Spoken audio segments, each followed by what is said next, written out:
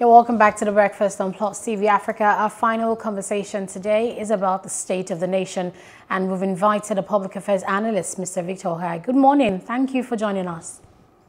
Good morning, and thank you for having me. All right. Now, where do you think the confusion regarding restructuring is? Would you say this is because it means different things to different people?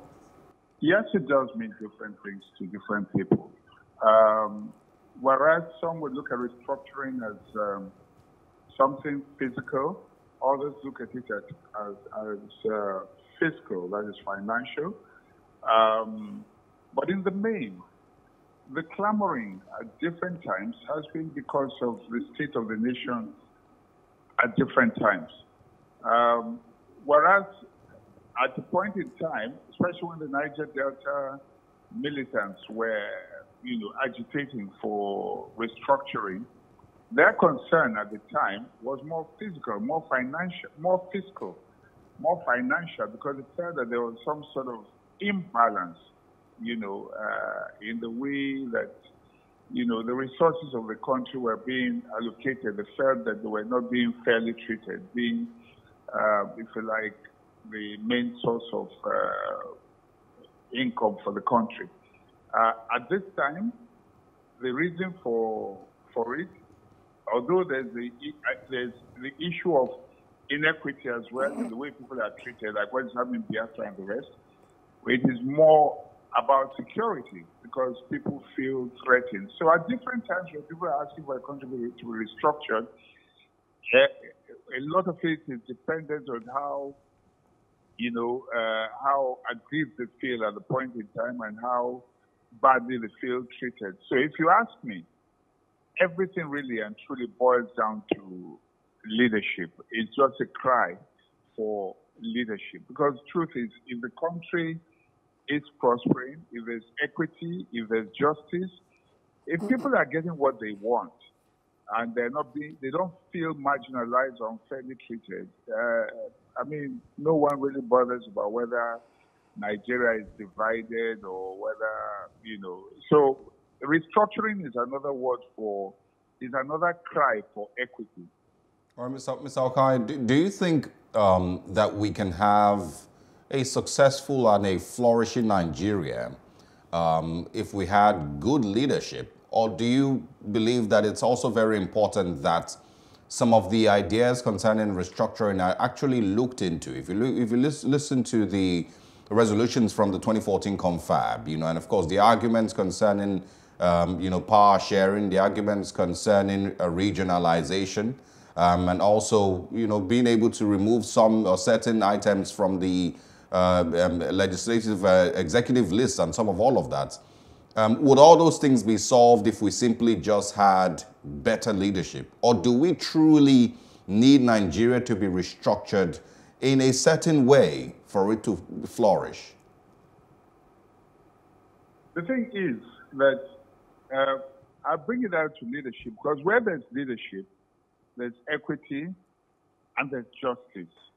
Uh, equity means no one will be cheated, everyone will be fairly treated, justice means you will get what you you truly deserve, which means no one will be able to. Um, I mean, no one area will oppress the other. So, and it takes a leader who is willing to implement this. If a leader is not willing to implement this, you can split Nigeria into a hundred regions. Even in the states, you still find inequity and injustice if you divide Nigeria today, even in the component parts, people will still begin to argue for restructuring. I told you that for me, what restructuring means is simply a cry for justice and equity. So it still boils down to leadership. So all of these issues will be addressed under the right leadership. If you don't have good leadership, no one is going to address the issue of injustice. No one is going to address the issue of inequity. Right. Um, well, I, I, was just going to quickly also throw in the conversation from the papers this morning. Uh, the president is currently under fire, according to the Daily Sun. It says Afenifere, Pandef, uh, NEF, and others uh, attacked the president over his position on restructuring. Um, and you know, it has been you know something that has been going on for a long time. If you re remember the campaign period, uh, the current administration had promised that they were going to take restructuring seriously and you know very likely restructure the country, but they seem to have changed um, you know their position on that. Uh, quickly, also react to, to that. Well, truth is, if you are discerning, nothing has changed. The president never made any promises. Uh, speech writers made promises. Okay? Uh, people who were not going to be on the driver's seat made the promises. Uh, you know, that's the problem when people want to write what they think people want to hear. That's what happened during the campaign. And Nigerians were not discerning. You know, the president was has always been consistent, if you ask me. You know, he has never he has never promised any of those things. Yes, the VP may have, but he's not the president. You may say he's in the presidency, but he's not the president. Speech writers were busy writing what they thought Nigerians wanted to hear. And that is the problem, which is why when you're picking leaders, it's important to look at their pedigree. It's important to hear what they have said when they were not looking for power. It's important to read their body language because at that age, it's difficult to change a man. Their minds are set. And that's what Nigerians are suffering today. Mr. Okhai, um, last question from me. Um, last week, Friday, I spoke to the leader of Afenifere, Pa Ayo Adebanjo, who's been clamoring for restructuring. And he, he dropped some bombshells in that interview, and one of which is that um, he said that if Nigeria is not restructured before, you know, the next elections, that, you know, Nigeria was not going to be together.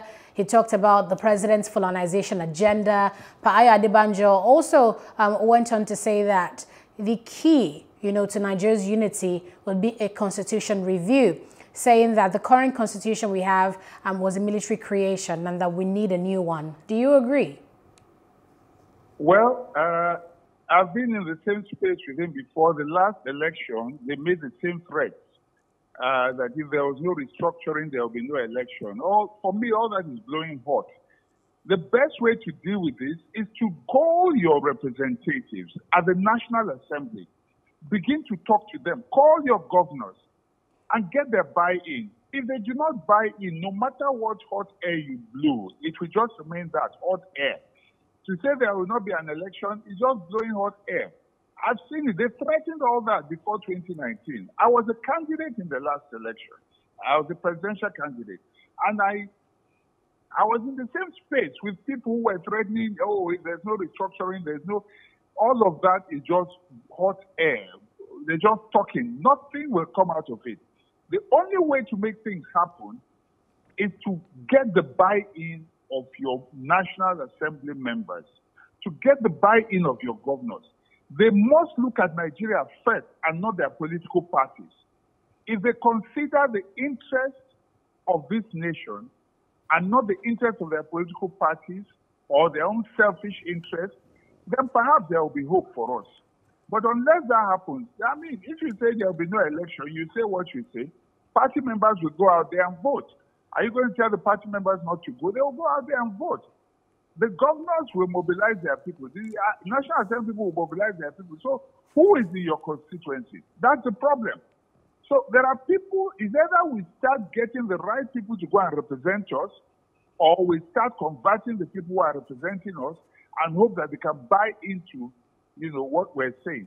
Perhaps the security situation in the, in the country is beginning to make people rethink, you know, no longer strictly along party lines, but more along you know, some you might say regional lines or along survival lines.